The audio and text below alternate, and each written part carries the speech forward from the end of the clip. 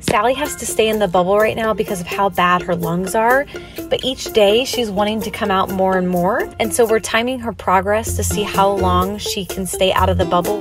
We just had Sally outside for the first time and she absolutely loved it, but then almost immediately got too excited and she started breathing really heavy again. I had to put her back into her bubble.